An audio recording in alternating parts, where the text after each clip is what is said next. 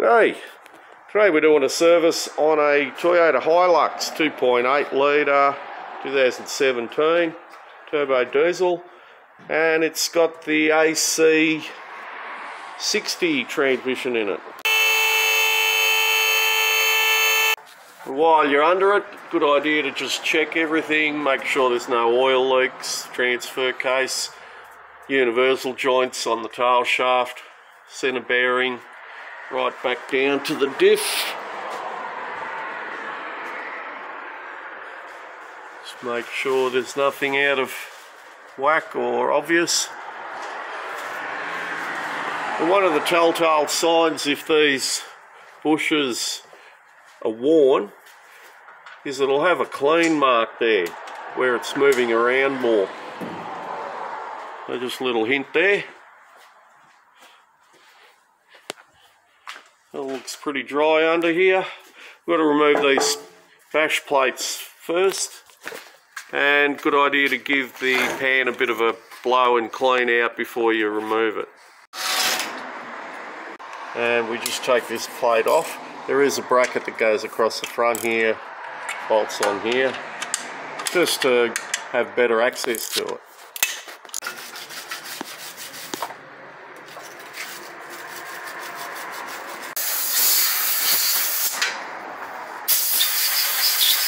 Drain plug's 14 mil. Always good idea to use a single hex socket.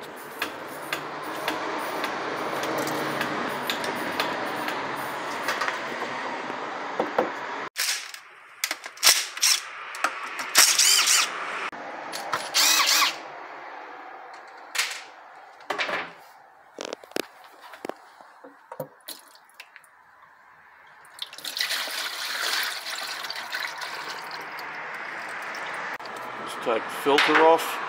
Just be aware that if it's a little bit warm, you'll get an airlock there and you'll get a gush of oil coming out when you're removing the filter.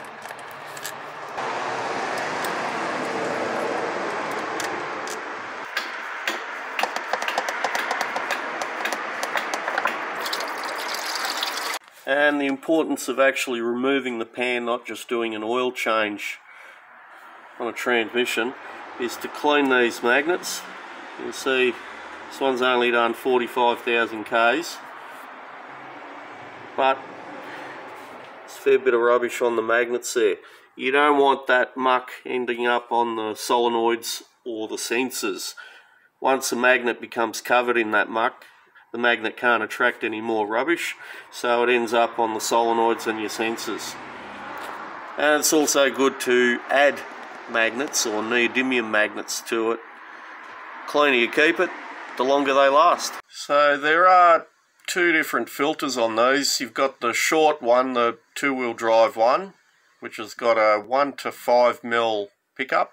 And there's the four-wheel drive one, which has a longer snorkel on it, 27 mil. So pan's nice and clean. We've replaced the, the rubber seal or the gasket. And we like to put these magnets up on those little ridges just to try and get more surface area of the magnet working, top and bottom, to attract any fine metal. We're going to add a neodymium magnet.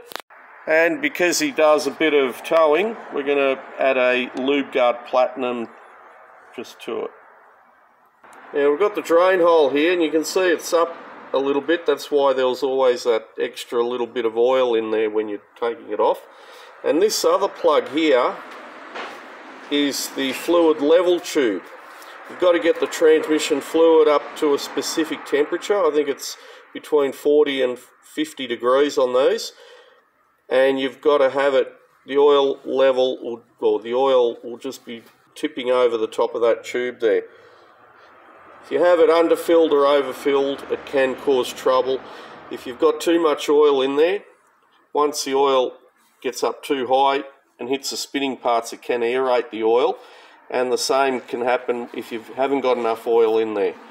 Because he tows, we're going to adjust it at the lower level because the oil expands with heat. So you want to, he does a fair bit of towing with it. So we're going to try and keep the oil level at the lower end, which basically means we're going to have a higher temperature when we check it overflowing over that tube. New filter, like I mentioned, make sure you've got the right one, not the two-wheel drive one, which is basically flat there, there's no snorkel. And also always check that the O-ring's on there. If it hasn't got the O-ring, you're, you're going to be in trouble.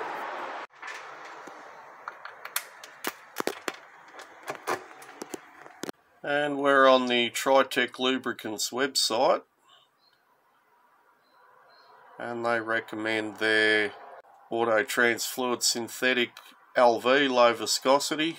But you can use any brand of compatible transmission fluid.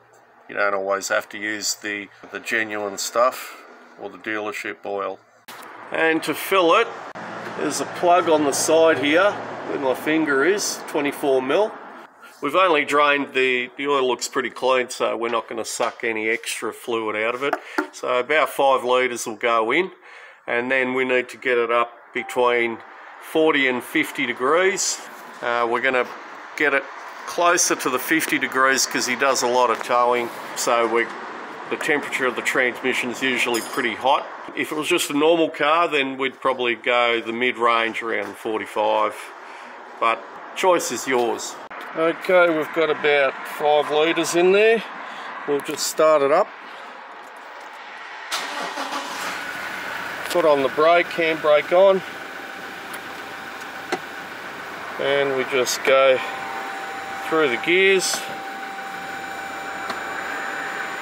slowly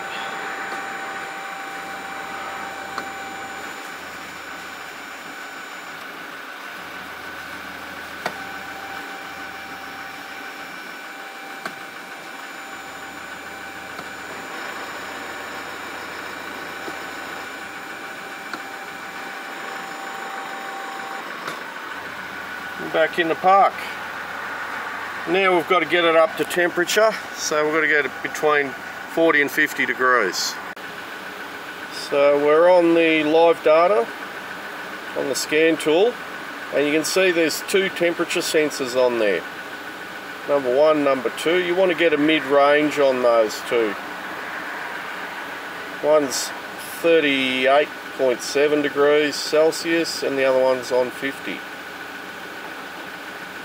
He's also got a temperature gauge on uh, on the cooling line as well. I'm not sure where it actually is, but you can see that one's showing 47 degrees and the scan tool is showing something a little bit different. Just go through the gears.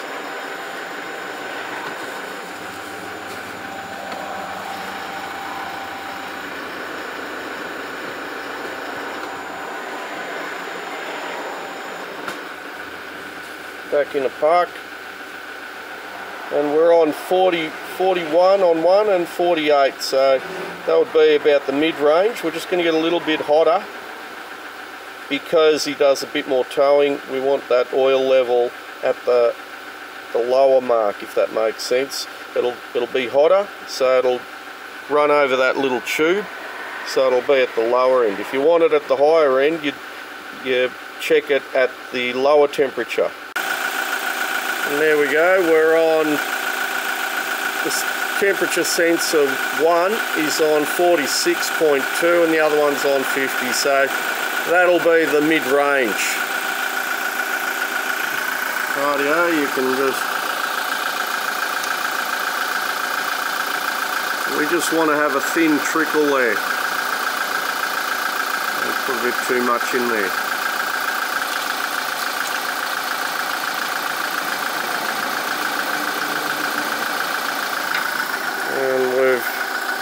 Gone down in temperature a bit.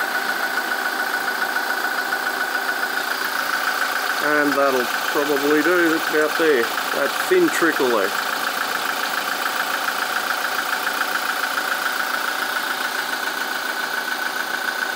Once the fluid level's right, you can tighten that 24 mil filler plug. Don't forget to put it back in.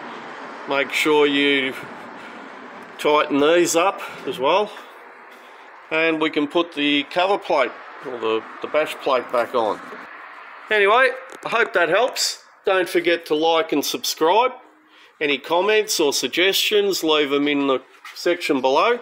Throw us a beer if any of this information helps. The uh, link's in the description. Much appreciated, keeps us motivated. Thank you for watching.